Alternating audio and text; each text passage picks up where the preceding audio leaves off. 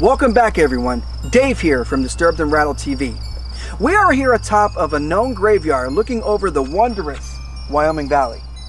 We will be visiting our first location, which is set to be at the Farnsworth House Inn in Gettysburg, PA.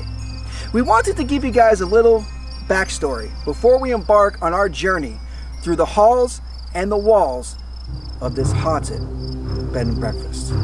The Farnsworth House Inn in Gettysburg gives an honor to the late General Elon John Farnsworth. General Farnsworth led a group of soldiers ordered by General Hugh Kilpatrick into a suicide charge against the Army of the Confederates.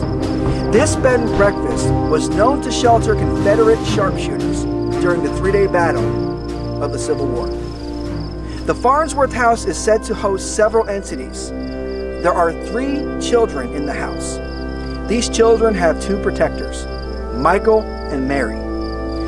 There is also a soldier named Walter who received a letter from his wife which stated he was going to return to no family. Several bullet holes still blister the walls of the Victorian rooms. Yet, there is still the question of how many Confederates still wander the halls at the haunted bed and breakfast. So join us on July 8th and 9th as we go live in Gettysburg at the Farnsworth House Inn.